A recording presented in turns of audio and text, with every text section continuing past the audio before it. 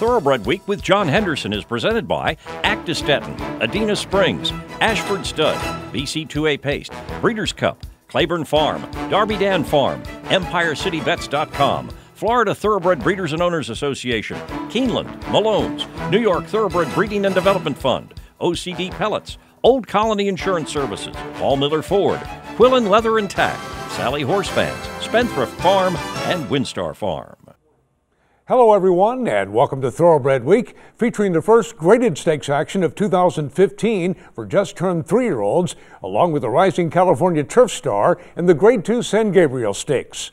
We begin at Laurel Park with the Native Dancer Stakes. Storm and Monarco, the 2 to 1 favorite. Dave Rodman picks up the call. 49 seconds was the half mile, so two and a half furlongs left to go. And it's Chero who's been in front since the beginning. Chero, Cosmic Gold, Storm and Monarcos asked for a little more third. El Nawi is fourth in Turco, Bravo, and River Rush as they make the turn in for home. Cosmic Gold striking the lead, but El Nawi, the presence on the outside, the 6 and 114 flat, they're head to head. And El Nawi's got the momentum in the center of the track. Sheldon Russell setting down El Nawi, and El Nawi with a sudden burst of energy moving away in the last 16th of a mile in the Native Dancer Stakes for Shadwell Stable. El Nawi sharp to win.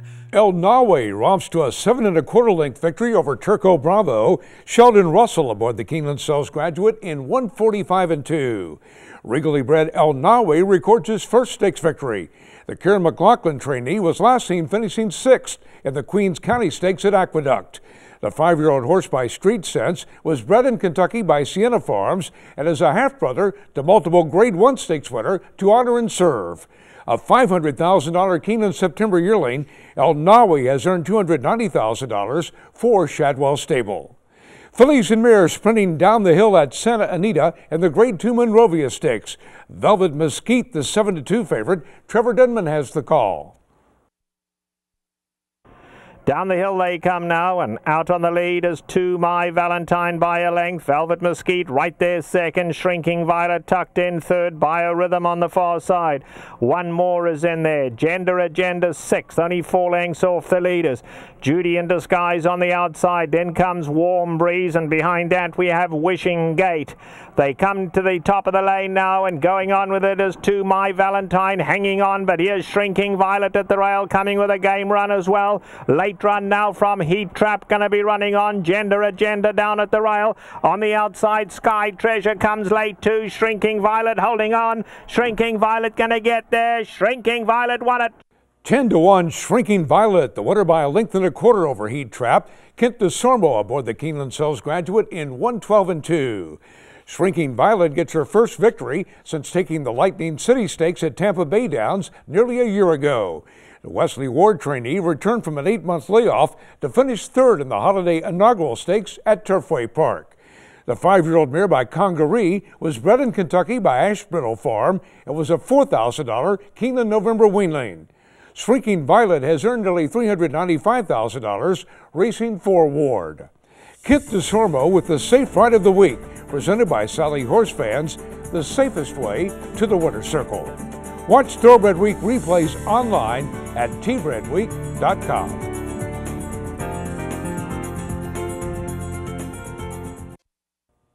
Welcome back to Thoroughbred Week with three year old fillies featured in this segment. We begin on the turf at Gulfstream Park with the Ginger Brew Stakes. Right on Kitten, the 9 to 5 favorite, Larry Collmus has the call. They continue their way up the backstretch. And on the inside, it is Sunday Sonnet, and on the outside, Divine Aida. These two went 48 and 1 for a half mile. They're side by side into the turn. And then it's Cardinal Cove and Nikki's Brown Miss, and she's going well. Nikki's Brown Miss up to third. She's going to angle to the outside of the top two. And Divine Aida has taken the lead. Jesus Rios and Divine Aida to the front. Sunday Sonnet on the inside. Here comes on the far outside Nikki's Brown Miss, and she's closing in with Divine Aida to catch. Divine Aida, Nikki's Brown Miss on the outside. Then it's Sunday Sonnet hanging in there at the rail, but it's Divine Aida. Divine Aida and Jesus Rios win the Ginger Brew. Divine Aida draws off to defeat Nikki's Brown Miss by three and a half lengths. Sunday Sonnet third for a sweep by Keeneland Sales graduates. Jesus Rios, the winning jockey, in 131 and 1. Divine Aida won her last two starts at Gulfstream Park West. The Ramon Morales trainee is two for two at the distance of seven and a half furlongs on turf. The three year old filly by Unbridled Song was bred in Kentucky by Alpha Delta Stables. A $200,000 Keeneland September yearling and a $120,000 OBS June two year old, Divine Aida has earned $109,000 for Stronach Stables. The Biederman Real Estate featured listing this week features a state of the art stallion barn and breeding shed with an attached 3,000 square foot office or residence. Log on to BiedermanRealEstate.com to see all our current listings. Next from Gulfstream Park, the Grade 3 Old Hat Stakes. Fashion Alert, the 2 to 5 favorite. Once again, here's Larry Collmus. Now, Fashion Alert is going to squeeze her way up in between horses as they race past the half mile pole. Concealed with a kiss, Fashion Alert got through, and on the outside, it's Ekati's Phaeton, and they went 22 and 3 for the quarter. And then it's our Sassy Lass just behind them, running in fourth. Break of another three back to Jamie's Dancer, and then it's Slava, and at the back, Temperament Patty around the far turn. On the outside, Ekati's Phaeton. Fashion Alert all out in between horses in second. And then it's concealed with a kiss cutting the corner. And our sassy lass on the outside and fashion alert just steadied out of that pack and is back running in fourth now as they come into the final furlong. It is Ekati's Phaeton and our sassy lass, and the two of them are heads apart with a 16th to go. Ekati's Phaeton on the inside, our sassy lass on the outside. Coming down to the line, a Cotty's Phaeton has won. 7 to 1, Ekati's Phaeton by Darby Dan Farm Stallion Tale of Ekati defeats our Sassy Lass by half a length. Odds on favorite Fashion Alert well back in the show spot after a troubled trip. Luis Saez aboard in 110 flat. Winner of her first two starts over the track, Ekati's Phaeton finished sixth in the Our Dear Peggy Stakes on turf. Back on the main track for her latest, the Bill Kaplan trainee was runner-up in the House Party Stakes at Gulfstream Park West. The filly was bred in Kentucky by Haymarket Farm at Mockmer Hall. A $50,000 OBS August yearling, Ekati's Phaeton has earned $118,000 for Phaedrus Flights LLC. Darby Dan Farm Stallion Tale of Ekati's first crop three-year-olds already include Ekati's Phaeton, the fast-rising three-year-old filly who captured the Grade 3 Old Hat Stakes. Televicati has starred 14 winners to date from his debut crop and is among North America's leading second crop sires in 2015. To Santa Anita for the Grade 2 Santa Ynez Stakes. Light the City, the 5 to 2 favorite, Trevor Denman has the call. And uh, away they go. Sadur flies out of the inside gate and Sadur goes straight to the lead. Lady Lake on the far side. XOXO up between those two. Light the City and the Gold Cap is right there too. And then we come back to Callback in fifth. Morning Coffee's in the sixth spot, giving them five length start. Behind that comes Henny, the Love Penny. Now there goes Rat-a-Tap Tap on the far side. Rat-a-Tap Tap's going to have to go wide, but only three off the leaders. Last a long way is Conquest Hollinate. Into the turn they go, and Sadur is the leader. Sadur leads it. XOXO in second. Light the City third. Along the inside comes Call Back. Lady Lake in the blue now having to be ridden along. On the far side, Rat-a-Tat Tappers, four off the leaders. Morning Coffee back of the leading group. And then four back to Henny the Love Penny. There's something wrong with Conquest Hollinate. Conquest Hollinate is eased. They come to the top of the lane now, and Sadur goes on. Sadur is sent for home, responds willingly, and it's Sadur in front. Call back in the orange cap. Looms the danger. XOXO back in third. Sadur goes on strongly for the line. Leads it by three lengths. Call back in second, but a huge performance from Sadur today. Sadur and Rafael Bejarano, very impressive.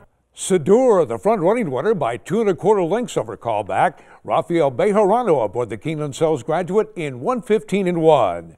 The Jerry Hollendorfer trainee was a two-time stakes winner at two, including a five and a half length score in the Golden Gate debutante. The filly by Elusive Quality was bred in Ontario by Anderson Farms and Moret Farrell. Sadur has earned $262,000 for Regis Farms. The filly was consigned by Anderson Farms to the 2012 Keeneland November sale, where she was purchased by Regis Farms for $130,000. Grade 2 Santa Ynez Stakes winner Sadur, the Keeneland Sales Graduate of the Week. The Spendthrift Farm Stallion of the Week is It's My Lucky Day. Millionaire winner of Saratoga's Grade 1 Woodward Stakes and a leading older horse of 2014. Visit Spendthrift's open house daily during the Keeneland January sale and inspect It's My Lucky Day and the rest of the 2015 Stallion roster. Welcome back to Thoroughbred Week with the Grade 3 Jerome Stakes coming up in this segment. Three-year-old stakes action is presented by BC2A Paste. Reduce the likelihood of tying up with BC2A Paste. We begin with turf three-year-olds at Gulfstream Park in the Grade 3 Dania Beach Stakes. Smoke'em Kitten, the 9 to 5 favorite. Larry Collmus picks up the call. 47 and 2 half mile, and now it's Smoke'em Kitten who leads the way on the far turn by a length. And then it's Wayward Kitten in second. A lot is third to the outside. Behind them, mostly Mozart is in fourth. Trying to get going are Cronin the Barbarian and Night Prowler. They're coming to the top of the stretch. Smoke'em Kitten turning for home in front. Wayward Kitten a lot on the outside, closing the gap in third. Night Prowler fourth, trying to get going a lot. A lot has taken the lead. A lot and John Velazquez to the front. Night Prowler closing the gap strongly now on the outside. A lot and Night Prowler. Night Prowler a lot. Here's the wire. Night Prowler has won. Five to two, second choice. Night Prowler by Ashford Stud Stallion Giants Causeway gets up to defeat a lot by half a length. Javier Castellano, the leading rider by both wins and earnings in 2014, aboard in 130 and 2. Night Prowler broke his maiden in his second start over the Belmont turf, then wrapped up his juvenile campaign with a close third place finish in the Pulpit Stakes at Gulfstream Park. The gelding was bred in Kentucky by his owner, Paul Pompa Jr. Night Prowler has earned $118,000. Chad Brown trains the winner. Bullet Train is a group winning three quarter brother to the Great Frankel. His first foals are yearlings of 2015 and are outstanding. Contact Crestwood Farm to inquire about Bullet Train. Next from Gulfstream Park, three-year-old sprinters in the Spectacular Bid Stakes. Ready for Rye, the 11 to 10 favorite. Again, here's Larry Collmus. Up front, it's not me. Going along on the lead here, it's not me. Ran a 22 flat quarter and leads the way by a length and a half over Ready for Rye second. Then it's Barbados third, three lengths off the lead as they round the far turn. Big Family is next, and then comes Tiscano. Toasting Master still about six lengths behind as they come to the top of the stretch. And Ready for Rye draws up alongside of It's Not Me, but It's Not Me is still there at the top of the stretch. It's Not Me in front, Ready for Rye, Barbados running a big one on the outside of them, and Barbados is under a full head of steam. Barbados and Luis Saez have taken the lead, leaving ready for Rye and the others behind. Barbados has won the spectacular bid. Six to one Barbados by WinStar Farm Stallion Speightstown draws off to defeat Ready for Rye by three lengths. The second stakes victory on the card for Luis Saez. The three-time Keeneland Sales grad clocked in 109 and 2.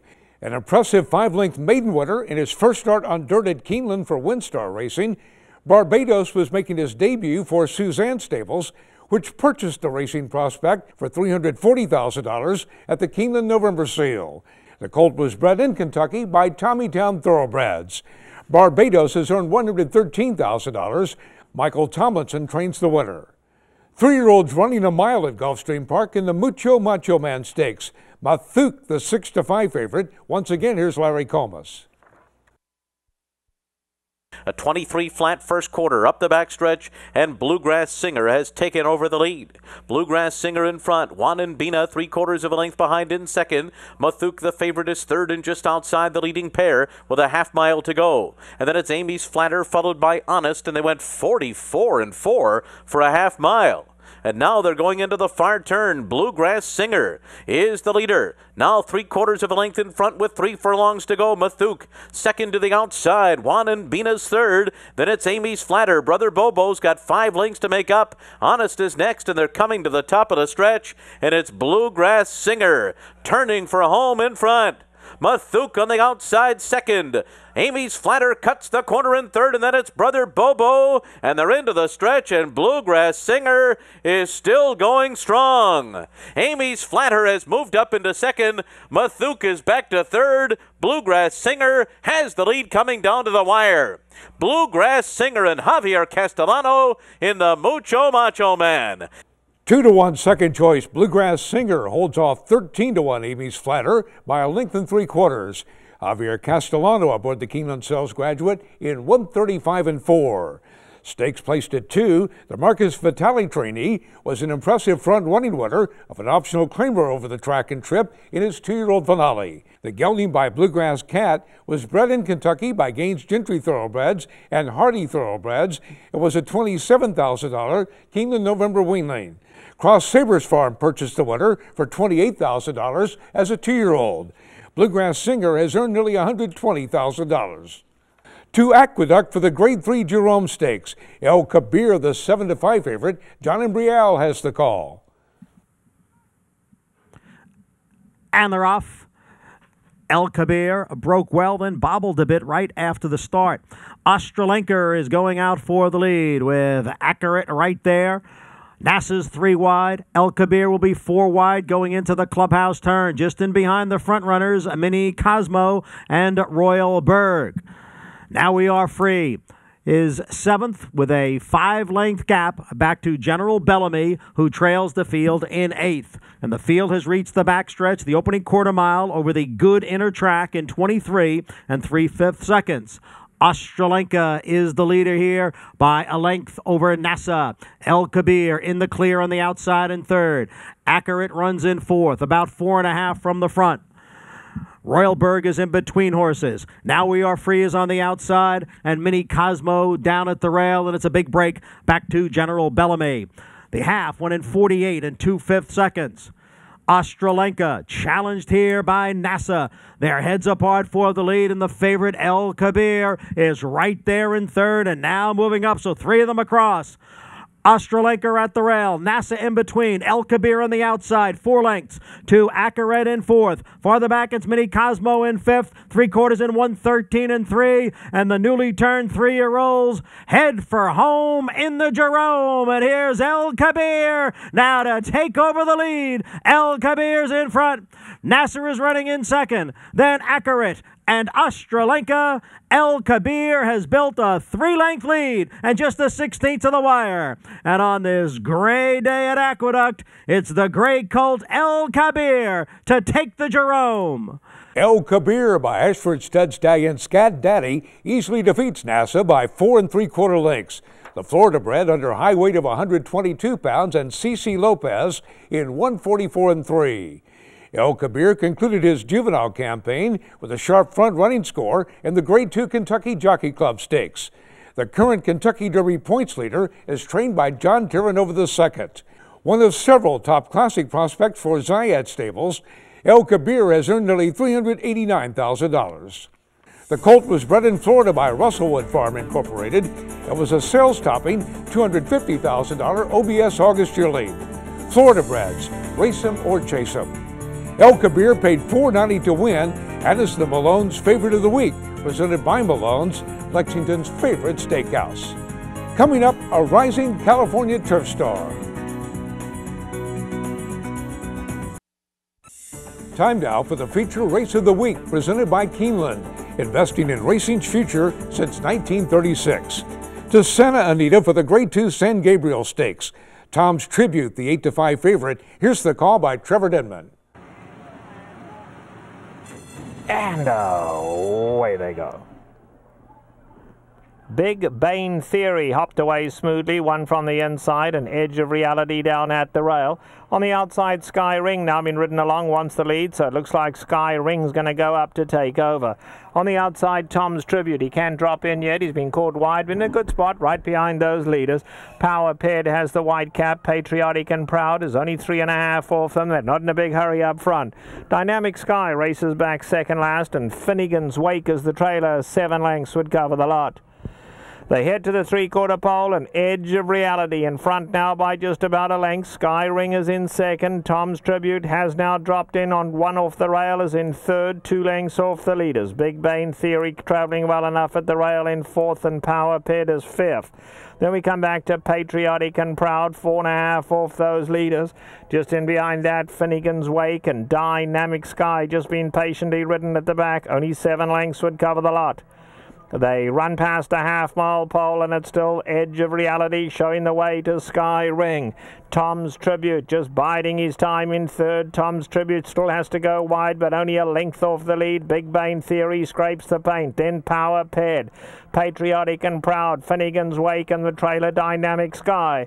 They coming to the top of the lane and Sky Ring now joins Edge of Reality. These two turn for home together. Tom's Tribute in the orange cap comes to tackle. Big Bane Theory needs somewhere to go down the centre of the track. Power Ped is in with a shot. Dynamic Sky nowhere to go. They come for home. Power Ped. Finnegan's Wake on the outside. Finnegan's Wake finishing like an express train. Tom's Tribute on the inside. Late run. Patriotic and Proud but Finnegan's Wake. Finnegan's Wake has won it powerfully. Finnegan's Wake rallies from last to defeat Patriotic and Proud by a length. Victor Espinoza up in 148 and 1. Back to back graded stakes victories for Finnegan's Wake, who defeated Patriotic and Proud by a neck in the Grade 2 Hollywood Turf Cup. Winner of the Grade 3 Arlington Handicap last summer for Dale Romans, Finnegan's Wake was transferred to Peter Miller shortly thereafter. The six year old horse by Powerscourt was bred in Kentucky by Jerry Crawford. Finnegan's Wake has earned $945,000 for Donegal Racing and Rockingham Ranch. We'll have the Grade 2 San Pasqual Stakes for older horses and the Grade 3 Sham Stakes for three year olds next week here on Thoroughbred Week. Thoroughbred Week has been presented by Actistatin, Adena Springs, Ashford Stud, BC2A Paste, Breeders' Cup, Claiborne Farm, Darby Dan Farm, EmpireCityVets.com, Florida Thoroughbred Breeders and Owners Association, Keeneland, Malone's, New York Thoroughbred Breeding and Development Fund, OCD Pellets, Old Colony Insurance Services, Paul Miller Ford, Quillen Leather and Sally Horse Fans, Spendthrift Farm, and WinStar Farm. Online at tbredweek.com.